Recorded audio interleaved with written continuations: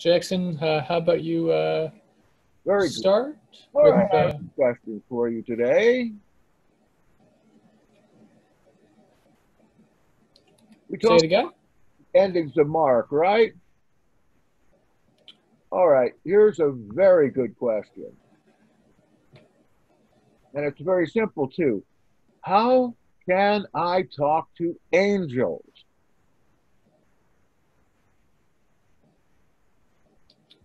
Um, how you you answer that first. It's easy to talk to angels. Just address angels and talk to them. The problem is that you don't know what kind of angel you're connecting up with. Because you certainly will have something answer you back in the short run. However, unless you have a great deal of discernment, you won't know whether that angelic being or spirit being is friendly or not. You are probably not going to get Casper the first time or one of the righteous angels. I have heard of a lot of people who say they talk to angels, some talk to Gabriel, some talk to Michael, supposedly. Nobody ever talks to Uriel. no one is ever being able to call up Raphael, but they get some of these angels like Saint Germain and primarily premortal types of entities that a person really doesn't want to interact with. I have known many people who have been hearing the voices.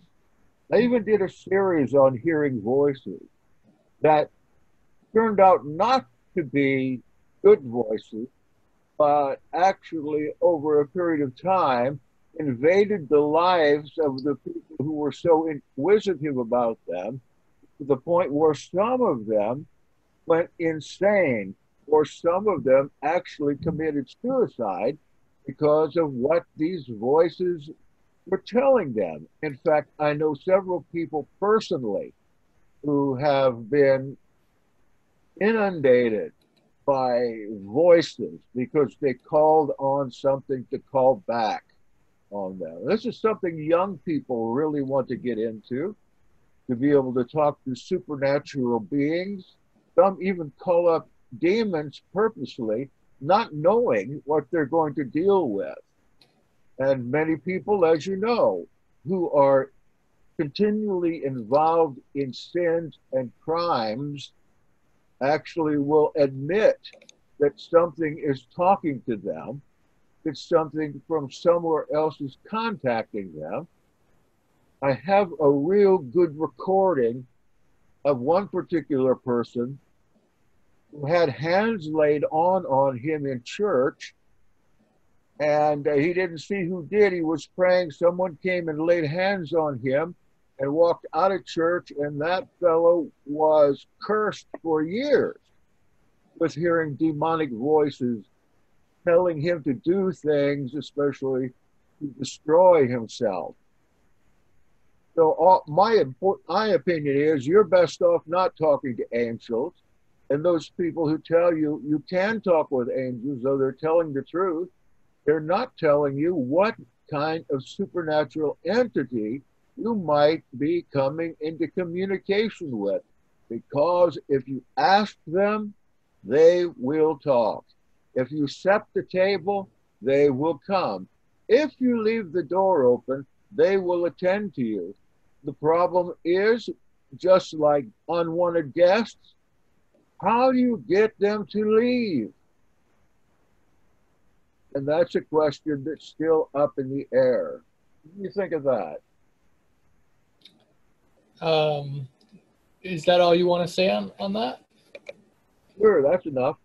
Okay. Um, so it's funny because uh, many years ago, when I, in the first few years of you and my interactions online, I, you specifically being Jackson Snyder, um, our interactions have been like in the past. I kind of felt like you.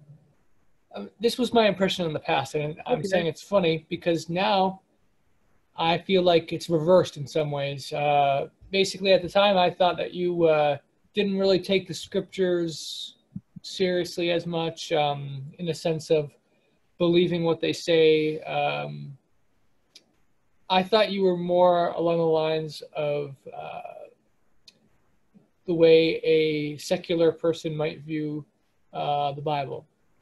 Um, now, I would still maintain that you are closer to them in certain things, like um, like apocrypha, for example, and uh, it's my understanding you kind of lean more towards them in the dating of different books. Um, but when it comes to spirituality, you are very much in line with um, at least what you have shared. Um, I don't know if if what you say is different than what you believe on the topic of the whole the different spiritual aspects, but from what you say, it sounds like you are very much in line with uh, um, a typical uh, biblical understanding of spiritual entities like angels, demons, and all Are those you things. that I'm an angel?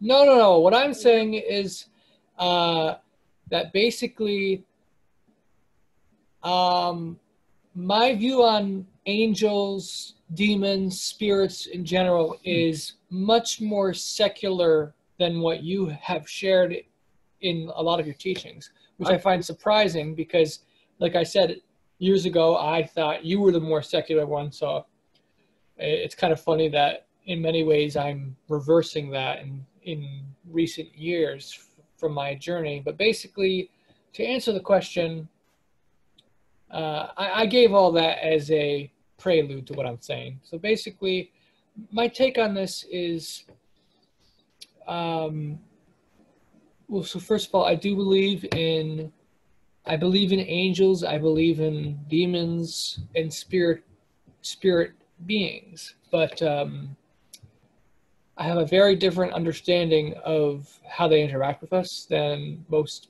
believers. Um, in regards to trying to communicate with angels or demons or anything, I believe that that's pretty much something we're not allowed to do uh, in terms of initiating. So, you know, the scriptures talk about do not try to be in contact with the dead, do not uh, commit necromancy. Now, spirits and angels are not dead, but demons are dead.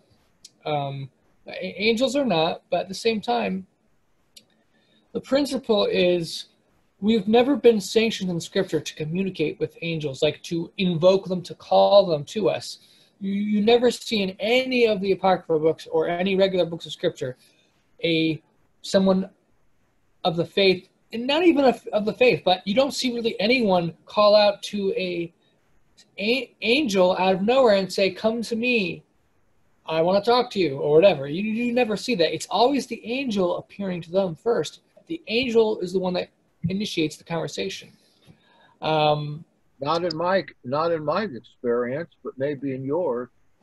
Uh, I'm not talking about experience. I'm just talking about what the what this um, what you see in scripture in the sense of you don't see in scripture examples of people trying to communicate with um, angelic, like initiating the conversation with angelic beings. You see angels being sent because you know the word in Hebrew for angel is messenger. So um, when an angel speaks with someone, it's because they were sent on behalf of Yahweh to deliver a message to uh, the people. And the only thing that I see from scripture of uh, communicating would be there is the Testament of Solomon, where Solomon basically gives instructions where if you have if you are um, possessed or someone you know is possessed with uh, a specific demon by name, you may uh, you are it says basically that each of the demons has a angel pointed over them that uh, is their authority where you can invoke the name of that angel um, to cast out the demon. Um, but i take that to be not you trying to communicate with the angel but you basically um, like you know how people say in the name of jesus blah blah blah. In the name of jesus leave demons leave this person uh, or in the name of god or whatever. People say in the name of. When they say in the name of they're not they're not they're not talking to to god or jesus when they say in the name of this. They're saying may this be done in the name of this. So in the same way i believe when when solomon gives his instructions in the testament of solomon for demons we are not invoking we are not speaking directly to the angels and and saying raphael come and bind this demon. No we're not saying that. Instead we're saying in the name of raphael be gone. So it's it's an important distinction i believe. Um, and also i think it's worth noting that um, when you look at idolatry in scripture the sin of idolatry, and when you compare it to how the church reveres the saints and angels, you, did you know the church angels are regarded as saints? There's Saint Michael, the archangel. There's Saint Raphael, the archangel. They are actually saints. They're called saints in, in the churches. Now, the word saint is fine, but the problem is because saint means holy, and we all should strive to be holy. So we should all strive to become saints. But the problem is the church puts on a pedestal saints and they believe a lot of the christians believe in prayer to the saints prayer to the saints would is communicating with um, or asking or petitioning so uh, pr- prayer to uh, abraham isaac and jacob or pr- pr- prayer to one of the um, Christians in the Middle Ages who was a, a good Christian. Um, people appeal to these people. Uh, there's there's certain uh, Christian people who once lived, like I think it's um, maybe Francis, uh, who is the patron saint of lost things. So literally, Catholics will believe. What is it? I think that's Saint Jude.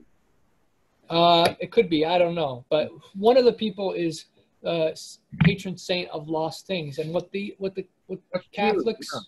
do is they actually pray. They pray. The saint of animals. What is it? Saint of animals. It's oh, okay. Saint Jude. You pray to Saint Jude to find lost articles. Yeah. So praying to praying to someone who's dead saying, help me find uh, this lost thing, you are basically committing the sin of idolatry, um, in my understanding. And um, I, would have to explain it in another video of some time, uh, of some type in the future, where I could explain in more detail why I believe it's idolatry and the um, how that applies to worshiping other gods. You see, the thing is, I think the reason we're not see the scripture speaks of of God of gods, and and it indicates that the angels are actually gods in in, in the Old Testament. So, um, so they are in fact gods, but we are told do not bow down to other gods. So it's not scripture doesn't say that they're not gods it simply says do not worship other gods. Worship Yahweh, don't worship these other gods beneath Yahweh. So, um, what is worship? I believe worship is a is giving um, power and serving a being, uh, putting it on a pedestal. Um, and so here's the thing: people like someone said in the comments uh, mary people pray to mary so uh, how is it possible for Mary to hear everyone's prayers at the same time? You know, you have you have like two billion Catholics. All the Catholics are praying t- to Mary every day, the Rosary. You know, and they prayed to Mary all the time. Unless you believe Mary is omnipresent, all-knowing, all-powerful, she cannot hear all prayer, all those prayers. The very act of even trying to pray to Mary implies that you believe Mary is a goddess that and you are assigning her power that she does not have. So that is idolatry. It's equivalent to idolatry. Um, so where this it becomes relevant in regards to angels, it's the same thing with angels. If you try to speak to an angel when the angel has not come down to you, you are essentially giving it a power it does not have. You can't. We can talk right now to each other through Zoom because that's the technology. But there's no technology that enables me to talk to Michael the Archangel right now. I can't say, Michael, come to me, and then Michael's going to hear me because Michael is not all here, all knowing, all everywhere. Michael's probably in another part of the world. So what would happen is Yahweh would have to tell Michael to come to me. He would have to tell Michael uh, that Onya wants you to come to him. And then he would have to travel. It would take a while for him to get here, potentially. I don't know how fast angels travel, but I don't believe that they can go wherever they want instantly. I don't think they have that power to just instantly transport somewhere else. Um, it's possible they do, but um, I think they're very much, I think angels and spirits are very much subject to the laws of nature, the laws of physics, um, and not, they, the, I don't think they can do whatever they want. Um, so, in that sense, I think it doesn't make sense to pray to, yeah, uh, three weeks, uh, three weeks delay, uh, Vicky said, um, in regards to one of the angels trying to help Daniel he was unable to for three weeks. Um, and that's in the book of Daniel. So, yeah, um, I would say don't, my view is don't pray to angels. Don't try to talk to them because talking to them is a form of prayer. If an angel comes to you, that's different. They've initiated it. So now, just like you and I are having a conversation right now, there's nothing wrong with that. But if later tonight in my bed, I'm trying to talk with Jackson Snyder and I say, "Oh, Jackson Snyder, uh, please upload my video." You know, I'm I'm doing I'm trying to communicate with Jackson in a way that doesn't it's not real. Um, it doesn't have that power. So, um, if I believe he can actually hear me, uh, that would be idolatrous. If on the other hand, you know, sometimes people just say things, but they don't actually believe that someone can hear them, but it's just like therapeutic, then that's a different story. Then, okay, they're just talking. You know, sometimes people talk out loud and say what they would like to say to someone. They wish someone could hear what they're saying. That's fine. But if you truly, sincerely believe that the person uh, has a direct line of communication with you, then that is a form of idolatry. So if you want to talk with Jackson Snyder, you got to use technology and talk with him a physical way. If Jackson comes to you and starts talking with you, then you can then you can talk with him. What did you say, Jackson? If I call you on the phone, if I just come out of the air, it's not me. He's a busy he's a busy man. yeah, if you see, if you see Jackson Snyder come out of thin air, it's probably not Jackson. It's probably uh, probably a, not a demon. Um, but another thing I just want to say, and then that'll be because I've talked a lot, but uh, basically, I believe that demons, I believe they exist, but I don't believe demons are what we think they are. I think demons are, so demons used to be uh, the Nephilim, according to scripture. They were the giants before the flood. I believe that. And they were the offspring of the fallen watchers. I believe that. But when the flood happened, all the, the demon, all the giants were killed in the flood. So what happened to their spirits? According to scripture, their spirits were trapped on the earth as and they became demons on the earth. So how are they trapped on the earth? Are they just spirits wandering around, as most people believe? I don't believe that. Instead, I believe that these spirits, these de- the spirits of the dead Nephilim, the giants, they basically were forced to enter into new bodies. And the bodies are what we know as viruses. It is my understanding that viruses, the scientific viruses, like, you know, use the microscope and you look at the microscope and you see viruses. I believe viruses are demons.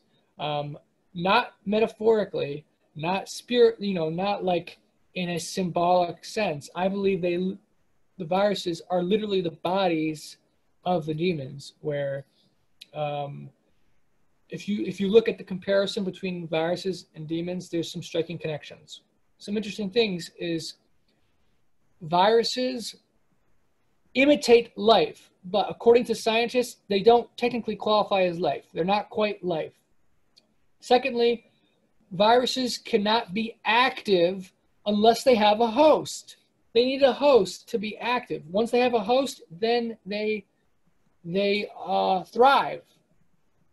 Sounds like demon possession right there. A demon requires a host to be able to to um, be active, and so there's other things too, which make me conclude that demons are in fact uh, viruses, and viruses are demons. So, so when people say that uh, they're talking with demons, I actually, or they hear demons talk, I am more inclined to think that that, that it's more so in their head in the sense of demons as viruses might be causing you to have thoughts in your head. But it's thoughts that are being put into your head. It's not demons talking to you. It's it's it's thoughts. So like for example, um, if you have a, a virus that virus may try to uh, make you angrier than you might normally be. It might make you irritable. So it might send thoughts into your head be angry, be angry. But people, when people talk about demons, they make it sound like a demon appeared to them and they saw a demon and and um and they uh like it was a divine miraculous encounter I believe most of these people are actually interpreting what, what happened to them. And really what happened to them is that random thoughts were coming into their head and they say, oh, that's a demon. Because I would never think that. So that must be a demon. Have you ever had weird, intrusive thoughts in your head? And you think, that's not what I normally think. Right. Maybe that's that maybe that's from a demon. But where I say maybe, other people say it definitely is. So I think um, I think uh, there's a danger to that. Anyways, uh, John uh, thinks we should move on to a different topic. Well, that was interesting for sure. Anybody have any other? There, yeah, anyone want to sh- share their thoughts on what I said or what Jackson said? You know, if Louis Pasteur would have known all that, it would have made things a lot more simple. What is this? I said, if Louis Pasteur would have known all that, it would have made things a lot more simple. I don't know who that is. Who is that? You don't know who Louis Pasteur? Um, uh, it's not ringing a bell. Uh, could you type out the name in the? Yes, he uh, he created vaccines for viruses and discovered what viruses were. Oh, okay. Uh, yeah, I didn't know him by name, so. No, that was just. I'm sorry, that was comic relief. But he's the one who viruses were and how he create vaccines. So it, it would have made life a lot easier if he would have known all that.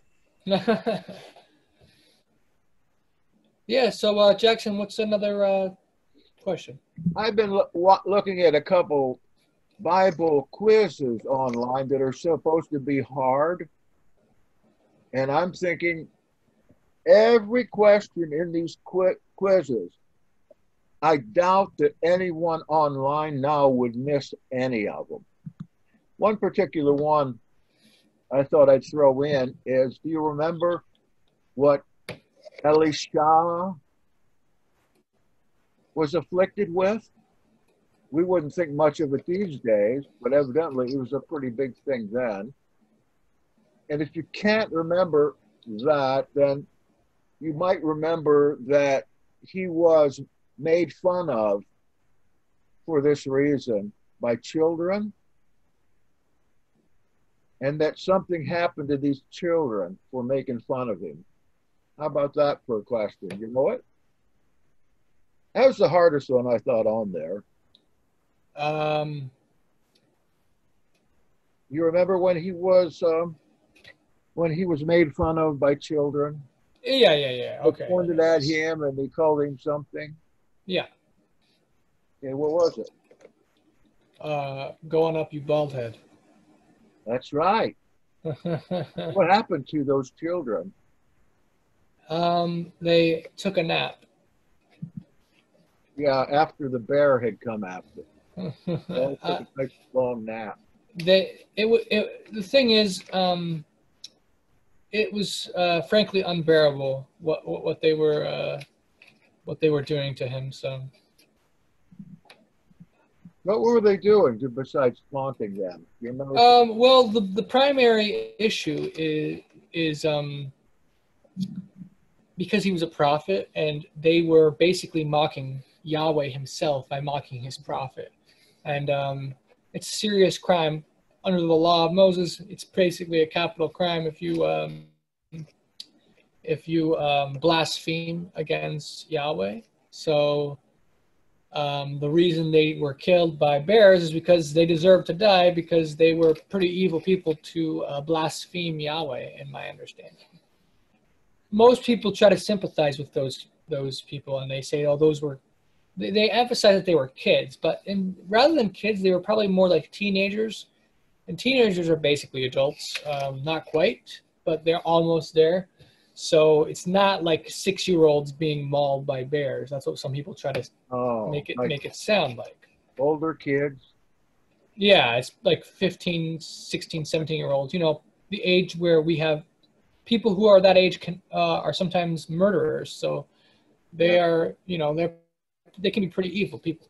Um, that's what what I would say about that subject. Uh, it's one of my favorite stories, actually, It's a fun story. in the Bible. Another question here that came in to me is about First Corinthians 14, and there's a passage in there where Paul's saying, "Did the word of Elohim originate with you, or are you the only ones it has reached?" The context of this here, if I read it in context, is if they wish to inquire about something, they are to ask their own husbands at home, for it is dishonorable for a woman to speak in the church. I doubt that the word church is in there. Did the word of Elohim originate with you, or are you the only ones it has reached?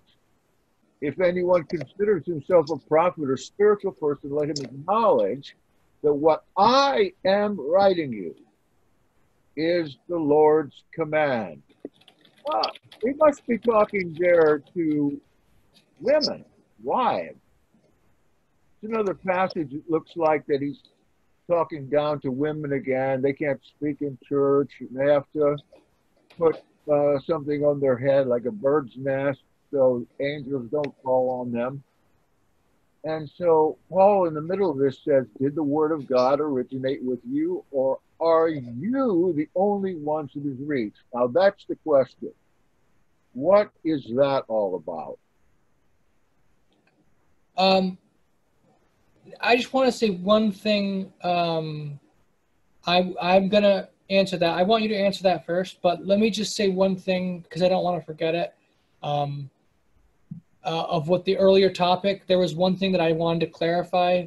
It's not. It's not going to be long. Basically, I do believe that people can see the actual um, form of demons in their dreams, as well as hallucinations. People can hallucinate uh, through viruses. Viruses can cause them to hallucinate, as well as to mess with their dreams. So I don't want to people to think that I don't believe that people can actually see demons. I just think um, people uh, exaggerate their experiences sometimes. But anyways, uh, that's all I wanted to say about that. So Jackson, um, what is your thought on the Well, on what you just asked? my my speaker quit working. Am I working now? Yeah. Okay. I think that it's the normal Paul where he's telling women to, to shut up and that he's saying to women that did does the word of God come to women? Give me a break. Go ask your husbands what's said. The word of God doesn't come to you, it comes to men. I'm not sure that's what that means, but that's certainly what it looks like to me. Uh, and again, I think it's another one of Paul's either anti-woman prejudices or him trying to stay within the bounds of Roman law about women in assemblies. Because you know, if you're if the women were taking over the assembly or anything else, a woman comes to the fore and does speaking, she and the man that is given uh, wardship over her could be arrested. And they could be punished severely for this according to the to the lex julia and lex cornelia in roman law i just got a paper on that today i haven't got time to look at it yet but I, paul just doesn't want these women to talk not of course i i'm against that i don't think that paul necessarily is bringing a word of the Lord or not. Why didn't Yeshua say the same thing? Yeshua said just the opposite of that. He seems to have empowered women, unlike the rest of Judaism at that time did not. And we know that there were some pagan cults like uh, Diana cult or Artemis cult that had women who were leaders of that, but primarily, according to these Roman laws, you couldn't do that. Paul being over women that were doing that, that could put him in jail. I know that sounds ridiculous today, but it's a fact for those days. So sometimes I don't think maybe it's, Paul's prejudices against women. And you know, he might have a reason for that. I don't know if you know the story about Paul coming to Jerusalem to marry the high priest's daughter, that's Caiaphas's daughter, whom they recently found the ossuary of in the Caiaphas tomb. But if you learn the whole story, you'll find that Paul took on the job of persecuting the Nazarenes for Caiaphas with the promise of receiving his daughter in return for doing that and his the possibility of him becoming a high priest at one time or the other, like Caiaphas himself became a high priest through marriage. You throw that out to you, and you'll excuse me for a minute. I have to go to the next room here. I'll be right back. Okay. Um. So Yeah, speaking tongues. Women can't do those things. Um, so basically, Jackson, you said you're stepping out for a bit. Be right back. Yeah. Okay. Um, I might wait until he gets back actually, because I'd rather him be uh, hearing what uh, I have to say. So um, d- let's talk about maybe we can talk about something else while we wait. Uh, so um, let's see here. So, John, what what are you specifically referring to uh, regarding Joel chapter two? Um, are you saying we uh, we said something incorrectly last time, or is it- it's in another verse? Okay, uh, so the statement was um, in there is no mention of mountains and islands in Joel chapter 2. Apparently, someone said that it was from Joel chapter 2, uh, but it's actually from Revelation chapter 6, verse uh, 14. And it says, And heaven departed like a scroll being rolled up, and every mountain and island was moved out of its place. Um, You think so, the whole world? what was it? So, so, so, so, so uh, Onya, if you'll read back through the messages, um, the point, the discourse, because there was a question from last week about Joel 2 and about how we, where we place this, how we place this. Um, and then as I read back through all of Joel, I was looking, you know, how the mountains and islands play a part. Just found that it wasn't there, that it was in Revelation 6. Um, oh, okay. and and how that chapter plays in role with Revelation six. Uh, just to hear your you two's you know opinion on that. Okay. Um, Jackson, is Jackson back? Yeah, I'm here. I missed Um, a little of that. Could you tell me what it was again? Uh, basically, uh, the question was asked about uh, something we were talking about last week uh, with Joel chapter 2 uh, in relation, in, in a connection to Revelation. Um, however, I think now that Jackson's back, um, we'll touch upon that next, but I think we should try to uh, finish the current uh, subject we're on before No, we yeah, move. because of course I was just it was something that I put for further discourse for the next question because it was a topic that we ended on last week. And there were kind of uh, verbal assignments given out. Hey, give us more on this, or look into more on this. So So I went ahead and, and did more on that. Uh, Well, I remember when I when I kind of wondered, what are you talking about, Joel two. Right. That, Yeah. that, I that wasn't that wasn't my question. didn't ring a bell. Question that I had remembered and I was following up on, and that Jackson you had asked to give uh, for someone to you know look into that more. Um, so I went ahead and did that to line up that verbiage, and I just found it was in in, in two different you know places, which we would call and not to call it in a negative fashion, but trail mix when we grab different books and combine it into one event. Potentially when they're not talking about potentially when they're not talking about the same event. Potentially, but in a way they could be um, because we know uh, this time and event that these two chapters are talking about. I was just wanting to hear the discourse between you two after this, obviously, this topic. That's all. Okay, yeah, sure. Um, so I did want to say about the subject of um, it's from First Corinthians, right? What we were reading. Yes, it, it appears to be an, another slur against the against the intelligence of women. So I would say, first of all, regardless of your view on Paul, I don't think I'm not inclined so much towards the view that it's because of of, of trying to please uh, Romans. Um, you just you mentioned earlier in your answer how Judaism didn't necessarily have the the best uh, view towards women either. Um, and you know, Paul did come from that Pharisee group.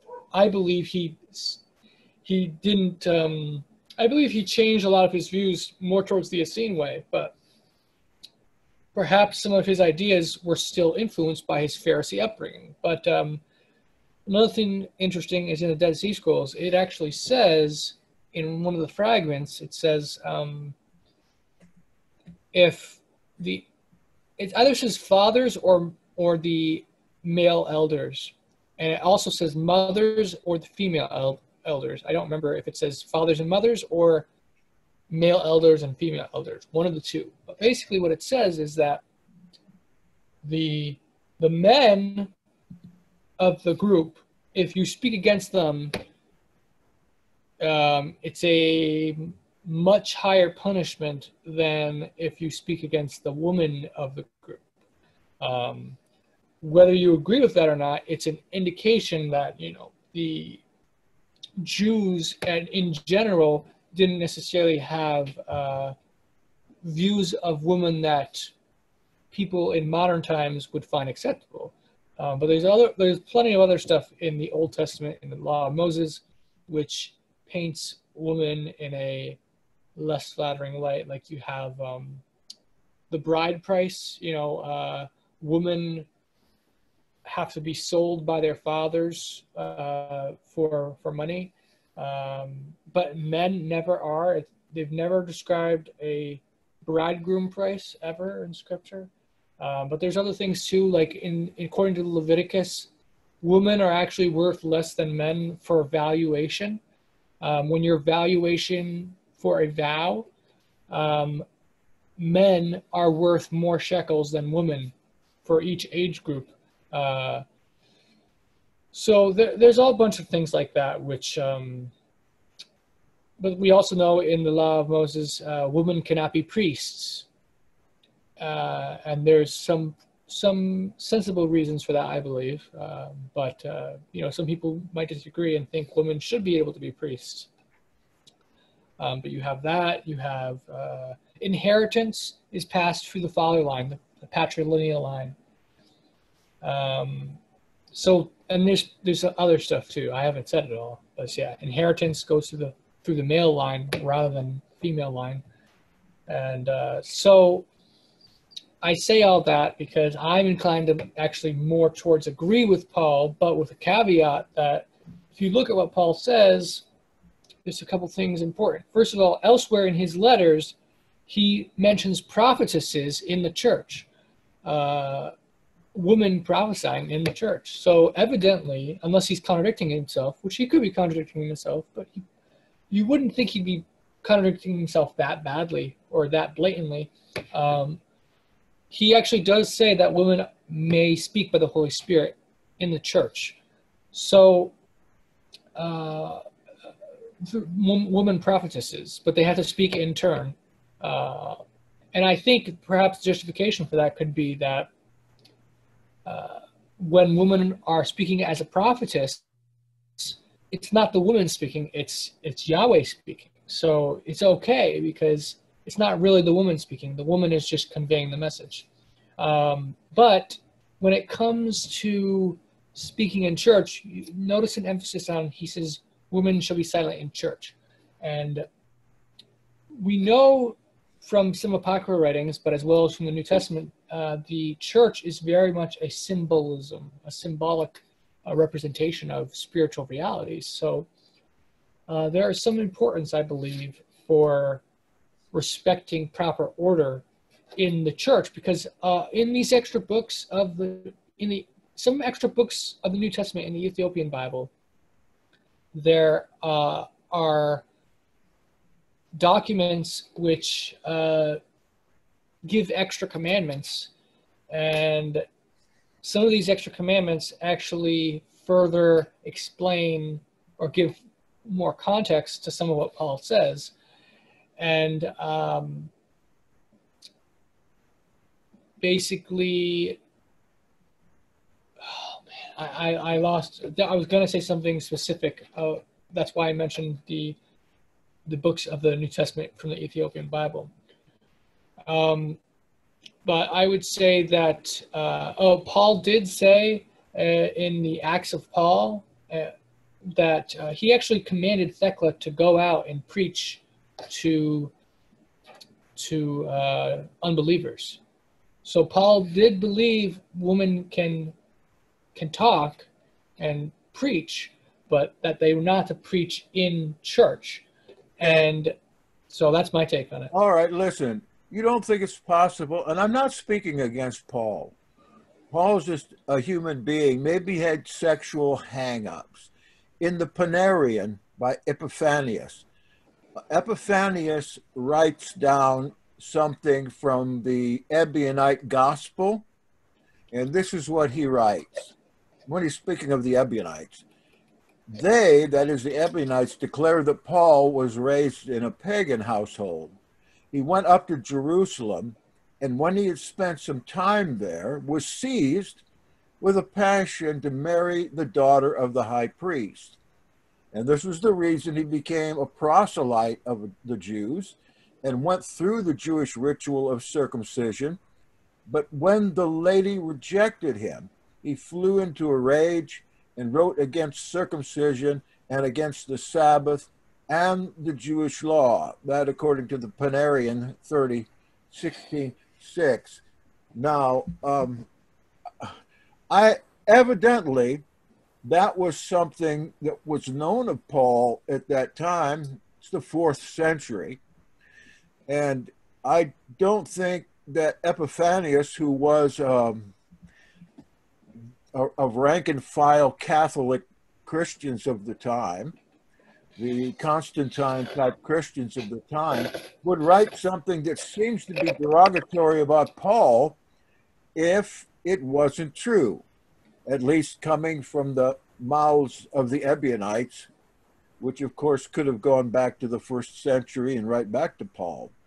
And my understanding was that uh, actually the high priest was Caiaphas, and that his daughter or granddaughter that he fell in love with, her name was Mary or Miriam, and her ossuary, her bone box was actually found in the Caiaphas tomb just within the last 10 years.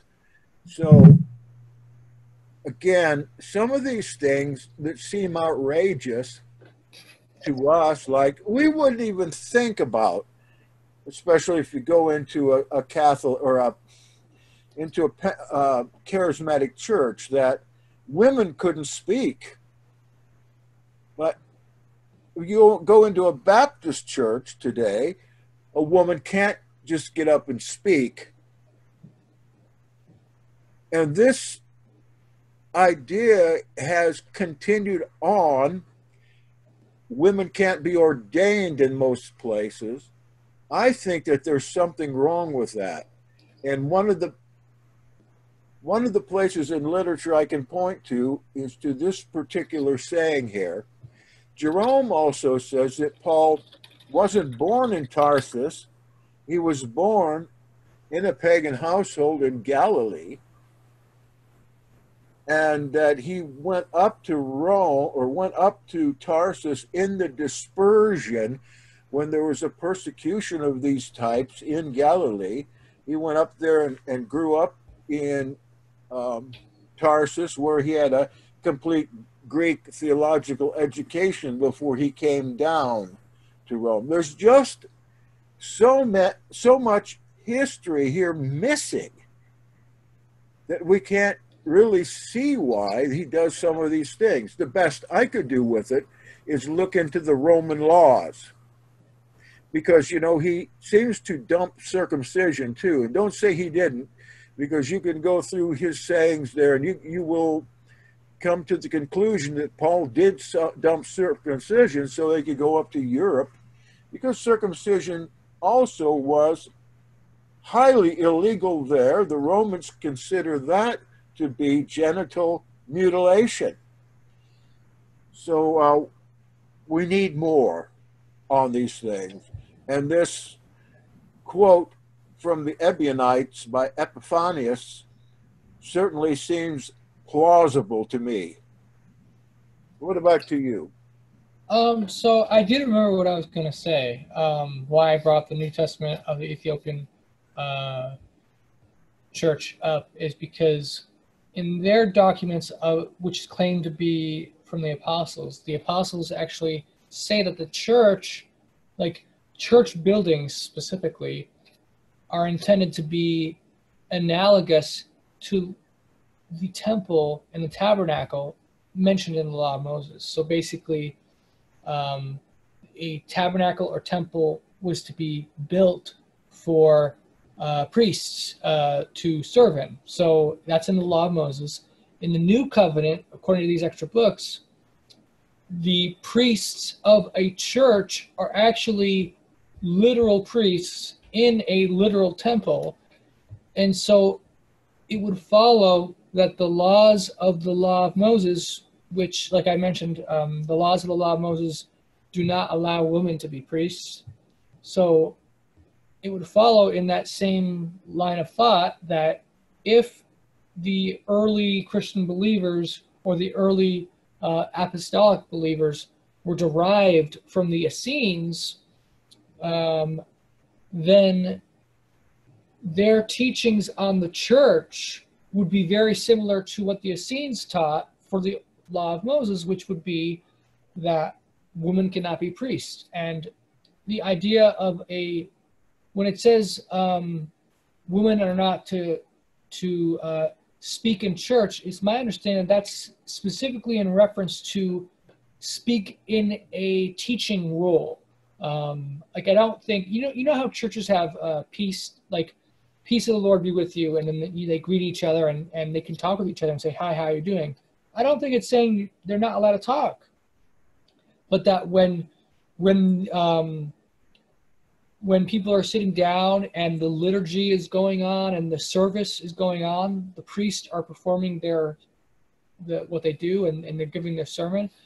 The woman is not to give the sermon because it is the priest's responsibility, and a, a woman's not allowed to be a priest that, from my understanding, is is pretty much the only reason uh, why women are not supposed to talk uh, in church. That's what I would say. But in regards to what Epiphanius said, um, um, thing to keep in mind. So first of all, a lot of people say that. A lot of skeptics of Epiphanius say that he says some things that are hard to believe um, I would take a middle approach in the sense that I don't think he just made things up. I think that he heard things from other people and he wrote down what these people were telling him. So he heard that the Ebionites or a group claiming to be Ebionites, because there were different factions of Ebionites, one of the groups of the Ebionites, or maybe the major group at that time, was saying this about Paul, because we know the Ebionites rejected Paul. So at the same time, if you look at that explanation, throughout the years, I have uh, tried to give people the benefit of the doubt. I've tried to evaluate people's motives and why they do what they do and why they say what they say, why they believe what they believe. And I can say that that explanation from the Ebionites very much sounds like a a um, an afterthought of like trying to demonize Paul and making him look uh, uh, basically coming up with an accusation. Well, that could be, it. it seems to me like a reasonable. It seems reasonable. It doesn't just seem like it was made up. And certainly in the Ebionites' time, there they could produce some type of biographical information that might support that. Why, you know, I'm wondering if it was completely a heretical and untrue saying that Epiphanius would even record it from them. But of course, he talks about heresies, a yeah. hundred heresies in there, and so what is, I don't know. I think that there's something to it. What does Epiphanius say? Does he say? Um, does he say that um, he he tried to pursue a woman and she rejected him? Or yes, exactly. The, the high that's what that's what it uh, says. A high priest's daughter. The high so, priest would be, of course, probably Caiaphas. So let's let's give benefit of the doubt for that idea, and let's say um, that there was a high priest that he was interested in, and and she rejected him.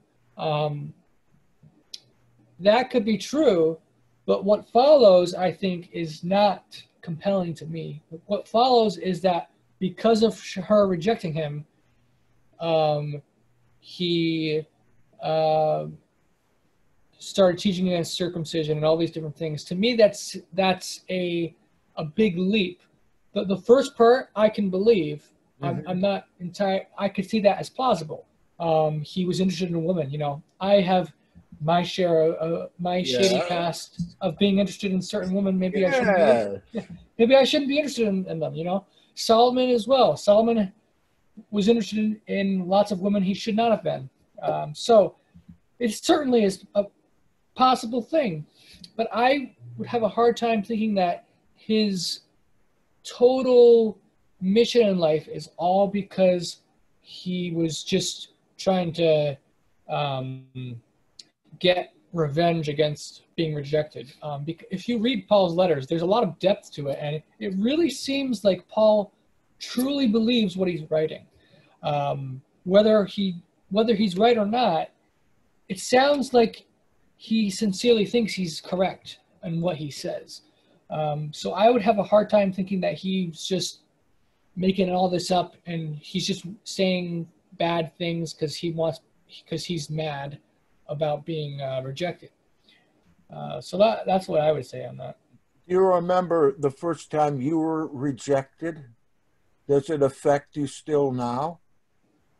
I sure do. It still Um, affects me even now, you know, 60 years ago. well, I don't, I don't, every- I only mean that rhetorically. I don't Yes. mean that you need to recount your no, life or I'll. I'll just say everything affects us still from our past. Yeah. Um, but uh, I'm going to answer that though. Basically, um, there have been some rejections which have extremely um, gripped gripped me and, and made it uh, very and it still impacts me to this day. But my first rejection, I'll be happy to say, does not have that same effect. Uh, basically. Um, I was pretty much, you know, I was I was sad, but uh, I have no bitterness or anger towards it or anything. You know, I, I had no no real scars from that first rejection. Um, I respected their decision, and I believe that they fully had the right to choose who they want to be with. So, you know, I didn't take it personally. I just was sad, disappointed, but uh, but then there's other times rejections which I did take personally, and it did severely uh, affect me negatively, and, and in some ways still does uh, in certain areas. So, um, yeah. But I would say uh, just a final thing. Um, I I'm very much law of Moses oriented. I'm very much the Essenes. So just pretend Paul doesn't exist. I go with what the Essenes believed and what the Torah says, and the, and they have a less than pleasant view towards women, pleasant in the sense of what we would consider pleasant in modern times. Um, but I very much believe in the ethics and morality of the law of Moses, even the stuff it says about women, slavery, and a bunch of other stuff. I believe that it's true. Uh, but I understand why people in modern times disagree. But I think if you approach the scriptures from the ancient perspective and the ancient culture, you will, and you try to understand why these things were said. Why were these commands given? Why were these statements said about women in, in what seems to be a negative way in the law of Moses? Once you s- start searching deeper for why were those laws given, the answers might surprise you and you might come to realize okay those answers make sense and that makes sense why women are not supposed to be priests um, so I, I would encourage people to to seek for the answer about women in the law of moses because i think that's where you'll, you'll find ignore paul uh, because paul you know i believe paul is an authority but people d- don't always agree with that and some of what paul says is not corroborated at least in our current New Testament. There are other books of the Apocrypha which corroborate what Paul says, but mo- a lot of people only have the New Testament. So, um, in regards to the New Testament books, a lot of people only have the New Testament and not the New Testament Apocrypha. So, um, for those who only have the New Testament uh, for the apostolic teachings, then you may not be convinced of what Paul says about women. So then ignore what Paul says. Go with the Torah go with what the Dead Sea Scrolls says. They speak very clearly about the, the way women are to be compared to men. And I, I agree with those ancient documents. So people may disagree, but you know, that's for you guys to figure out for yourselves how much of what the scripture says is still relevant or applicable today. Is it different now that we are in the modern time that we are? Are you a Uh, male Jack- chauvinist? A what? chauvinist pig? A male chauvinist pig? Um, I think that's what that's what uh, feminism would it, call. it, it depends who you ask, you know. Um, Yeah. But uh, yeah. So, do you have any? Did you want to respond to what I said, Jackson, or do you want to move on to the next question? No, you did a good job. I mean, you told what you feel about it, and it- it made sense. And I would like to you know what other people on here think about women speaking in the assembly. That Yeah, would- you guys want to to take a poll on that. Abso- It's absolutely fantastic. I mean, if we think about it, most of us men, whom are we? I mean, well, and I'm not going to say all, but some of us, and, and maybe this is just an example of myself, being from a single mother that raised me my whole life under the word, and I had a father that did not believe at all. And to think that a woman can't lead a man. I mean, even the Israelites would even go to war without a woman. Um, so, no. you know, I, I do not agree that women uh, should not be able to speak because most of us men wouldn't be what we are this day. I would agree with Chris because if you look at the stories of the Bible, all the miracles and stuff were shown to women first, not men. Even even after he uh, resurrected, it was to a woman, not a man. Well, I, let me let me just ask you guys a question. Just I want to understand what you what your guys' perspective is because I think this will help explain why I believe what I do and why you guys might believe what you do. So, Levit, um, Leviticus specifically states that um, that woman that uh, women cannot be priests. So, um, do you guys agree with that interpretation, or would you say that Leviticus doesn't say that? Tho- Those are temple priests. right, right. We're I'm, not dealing just with the temple anymore. Yeah, so pre- I'm just wondering if you guys agree with uh, that understanding of Leviticus. Do we are we on the same page for that? Well, yeah, I mean, of a temple priest, or yeah, no, then yeah, but no. Well, look, look at the bigger, look at the bigger picture. I mean, a woman raising a child, there there's a lot to that, and doing the priesthood, there's a lot to that. And I think the Almighty knows that you know you can only get stretched so far, so He puts limits on things, and I think that's kind of why He put the restrictions there, so the woman could focus on the child.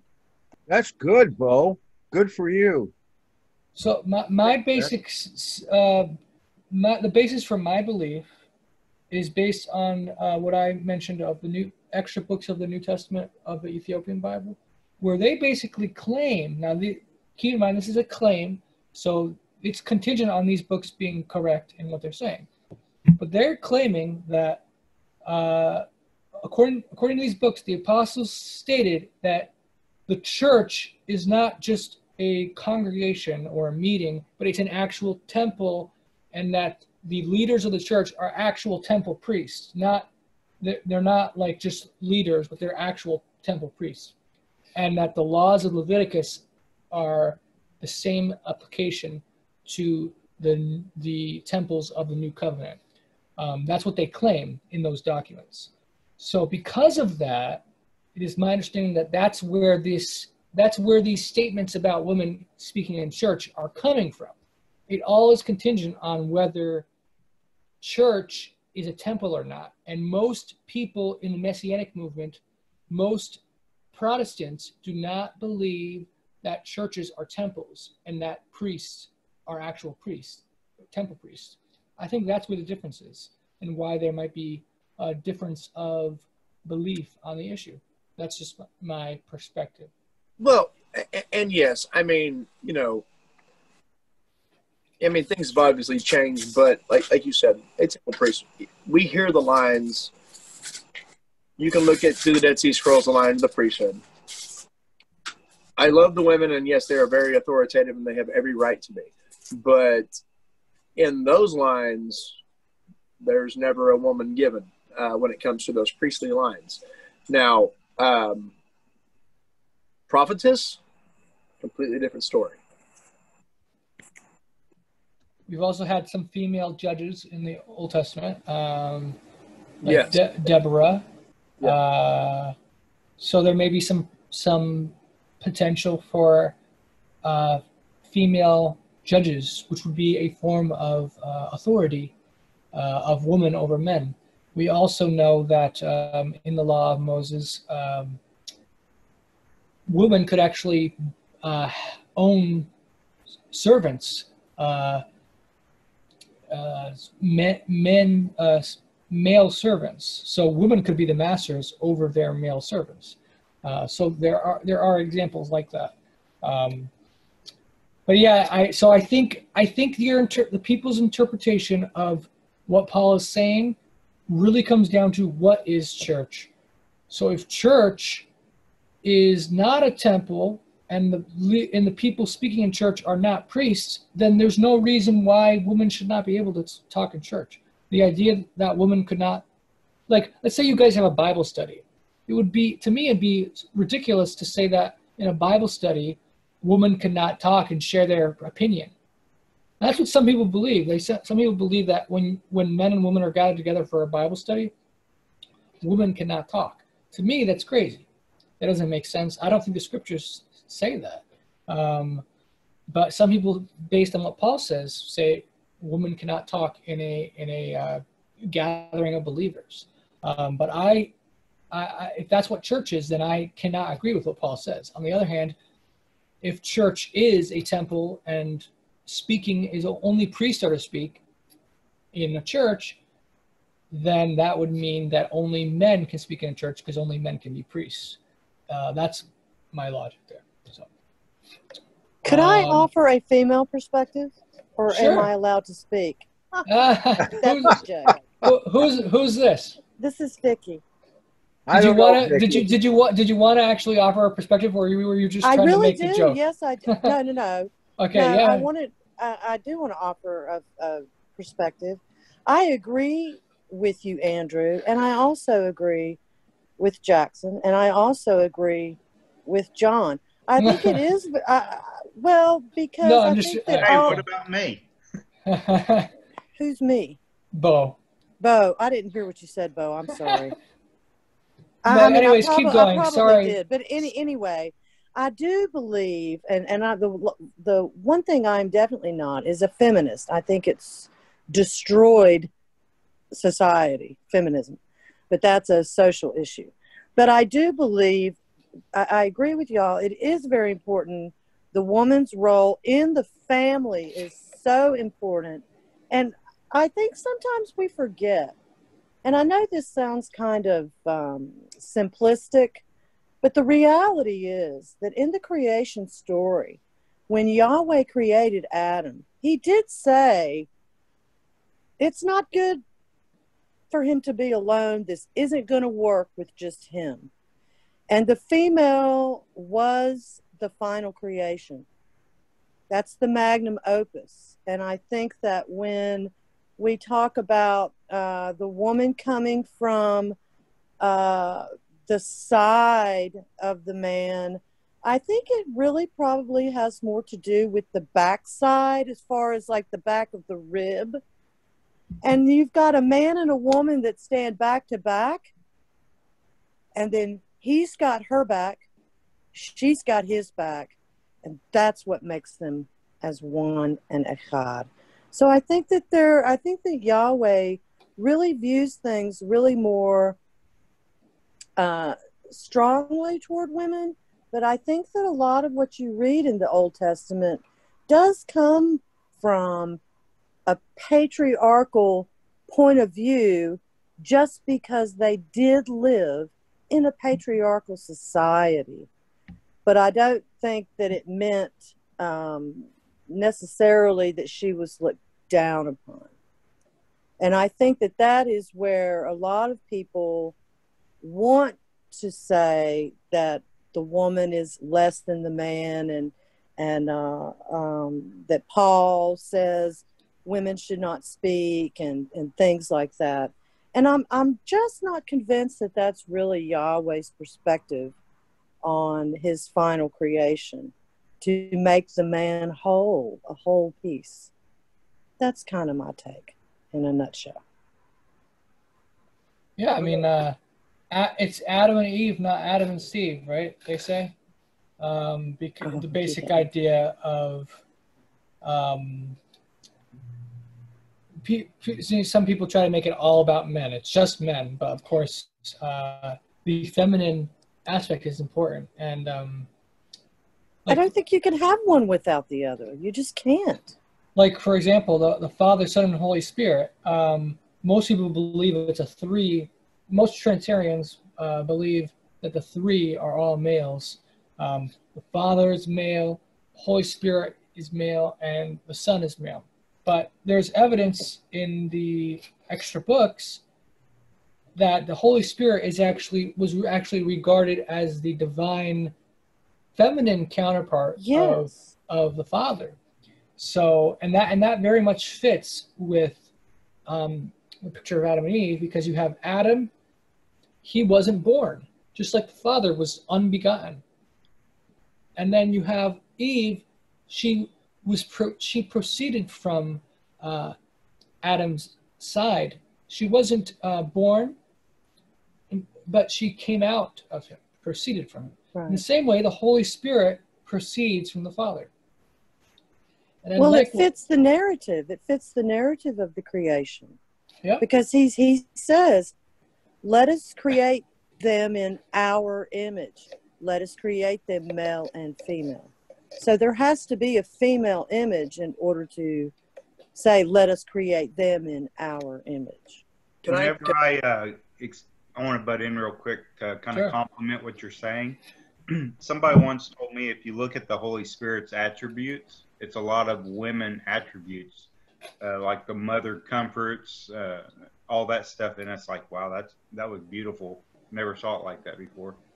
Um, and I just want to piggyback off that, and just something I've been listening to uh, with Jackson doing the Inner Way study, um, and then I believe, and Jackson, if you can correct me if I'm wrong, one of the books, uh, no, I'm sorry, in the Dead Sea Scrolls, when the, there's a, I believe there's a conversation between the disciples and Yahshua, um, and it's about.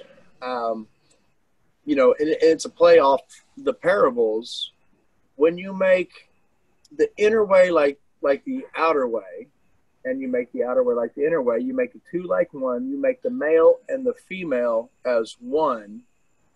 Jackson, can you can you? Um, that's in Christian Apocrypha, or Yeah. it's in New Testament Apocrypha. yeah, there you go. And uh, so there we go. That's just another piggyback to make both as one. It's just you know take the male and the female from the ruach of wisdom, and to make the inner like the outer, the outer like the inner.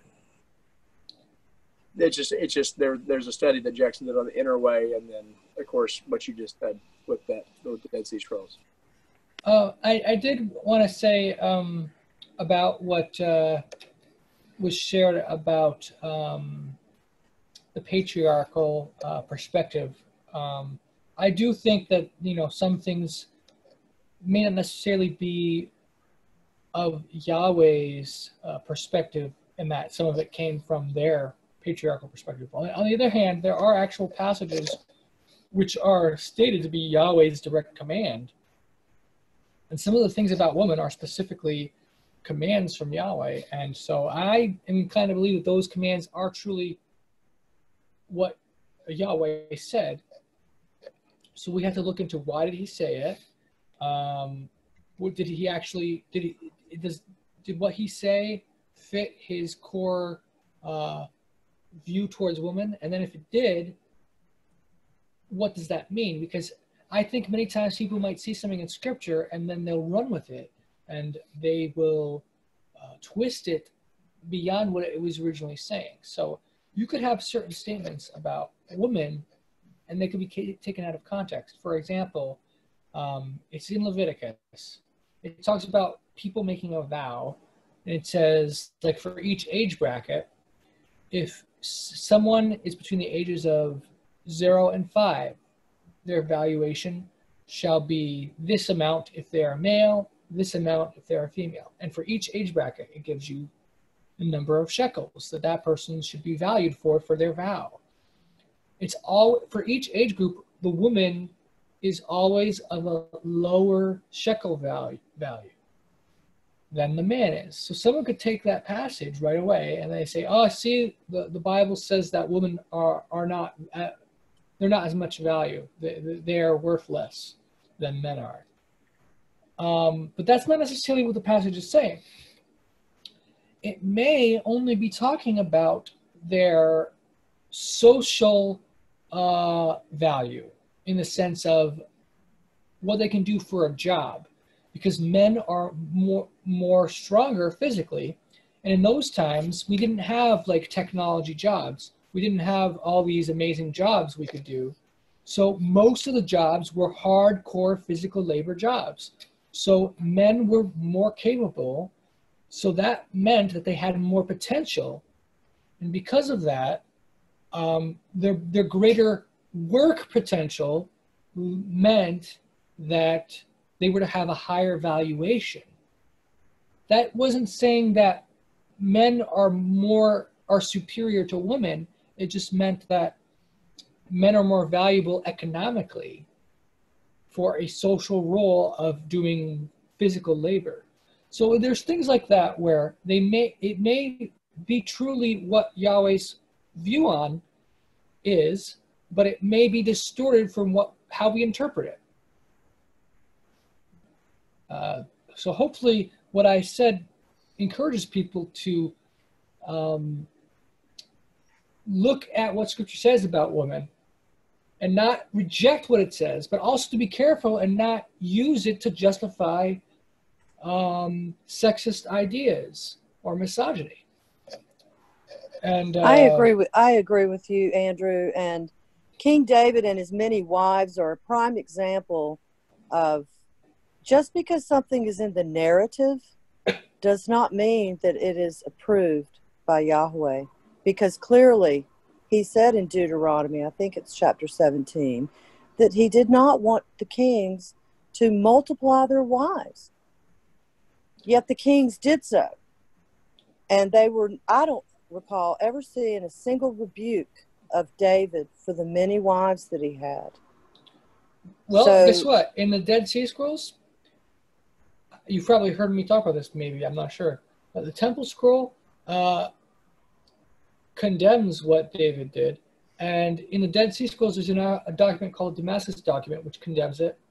We also have other prophet books that once existed, that the Bible says once existed, which are lost, like the book of Samuel and the book of Nathan.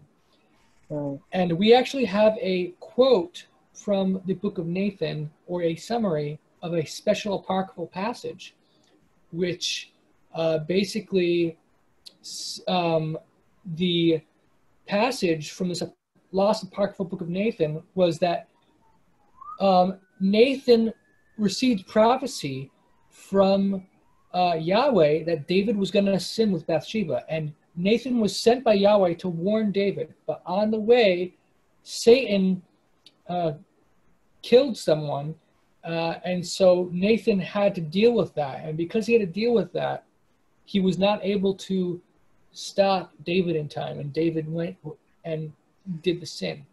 So that then would lead to Nathan rebuking David. And um, I think in the book of Nathan, there was more rebuke of David, of David, and that there would be rebuke of his taking other wives. Um, and I hope to show evidence of that in some other thing. Um, okay, and yes, David was forgiven, as Jackson said. The exhortations from the scrolls, the Damascus document, says that David was forgiven for that uh, sin that he did.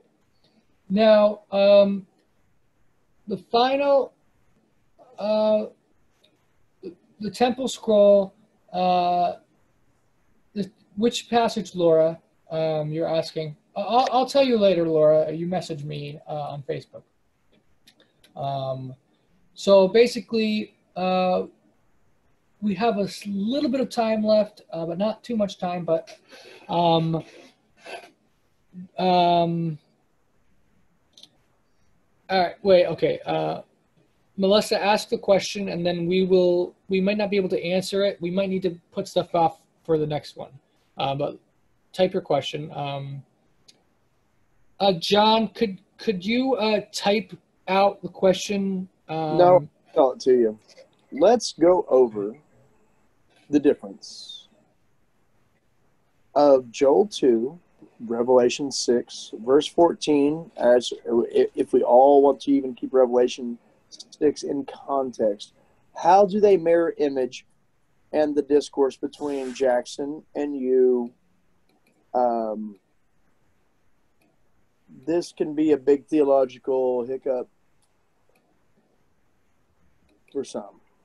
So we this is something that we agreed last week is very important, and we actually ended the session with it. Um, now you can put it off till next week or whatever, but you know this needs to be explained from a historical view.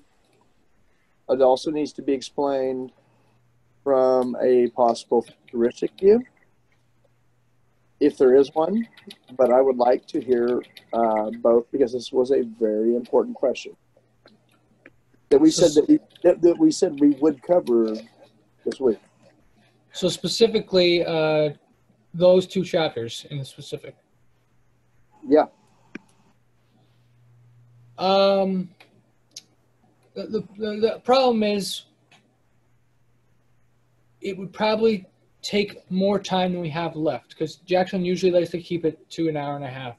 yeah, I know, Um, I know that. That's that's That's kind my concern. that- that's why I brought it up earlier because Yeah. we, that we would discuss it as, and I remember um, some assignments being put out to a couple. Well, hey, get us more on that, and let's talk about it next week. So Anya, why don't you have a Zoom account? Um, well, I have a I have a uh, Zoom account. I just haven't been doing uh, Zoom meetings uh, weekly. The, the the thing is, um, it, it's hard to commit to a regular uh, a regular Bible study. Well, give Um, us your Zoom address, and then if he doesn't want to do it, then we can continue on. Because I have some questions. I want to know what it means where Yeshua says that you can't put new wine in old wineskins or it will burst. And he says if somebody's had the old wine, he doesn't want the new, he thinks the old is better. I want to know what your take is on that, and then I wanted to tell you what my take was. Oh, that actually, I can actually help with that. Jackson does a good deal on the inner way. It's actually about finding your inner man and how, you know, nothing old fits into anything new as you, every parable that the Messiah gave, it was always for a high, it was never for a literal meaning.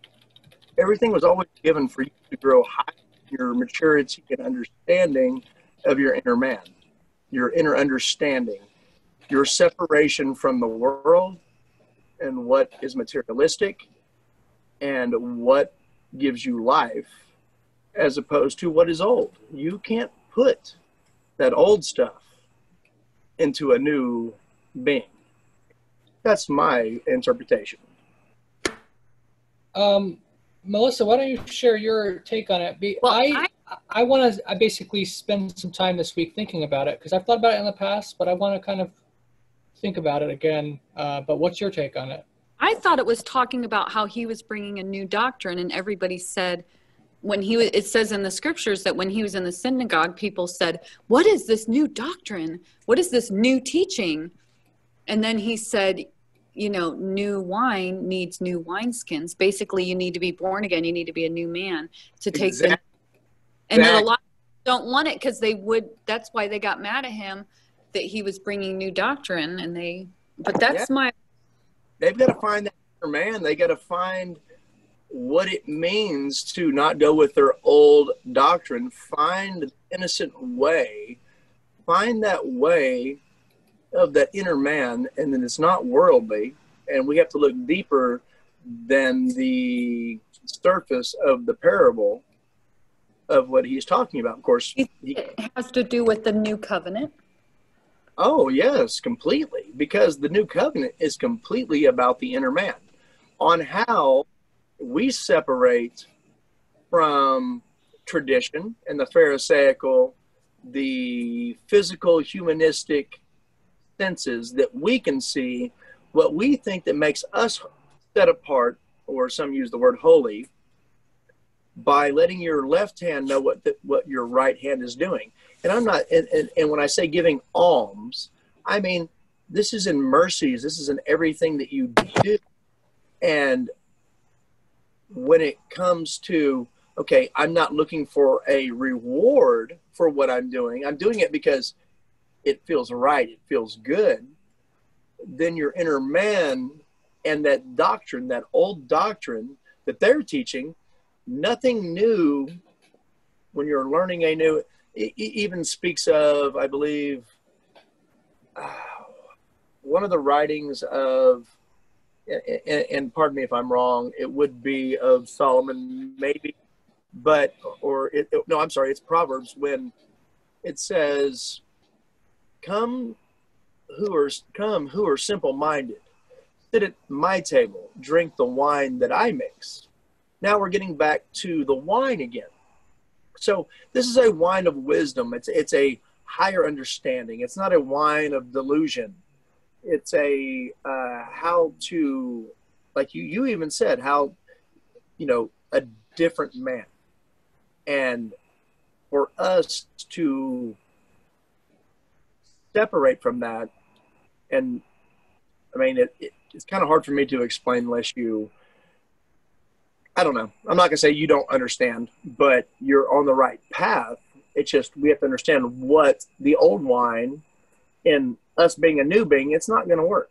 It's not going to work. And if we're an old wine skin, the new wine, it definitely will not work. Um, there's so a there's a scripture that says shaken down, stirred up, and I think that kind of goes along with what they're talking about also.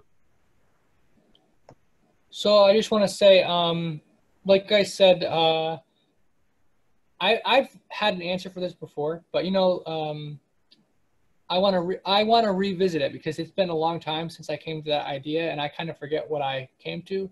So I got to study it again because I don't want to just talk and say random stuff that comes to my mind. I want to make sure that my interpretation is reasonable and thought out and makes sense to what I know and what I see in Scripture. Um, so I'm going to get back to you on that. As far as uh, the possibility of a of me doing a Zoom thing at some point. That, that's something we can think about. Uh, for now, like this uh, today, I don't. I'm not um, able to do that at the moment, uh, mentally. Um, but we can, if we plan, if we plan ahead, and I know in advance what we're going to be doing, um, we can definitely think about possible additional uh, studies that we can do together beyond what we're doing with Jackson. I like this weekly thing that we're doing. Um, I want to keep doing it with Jackson.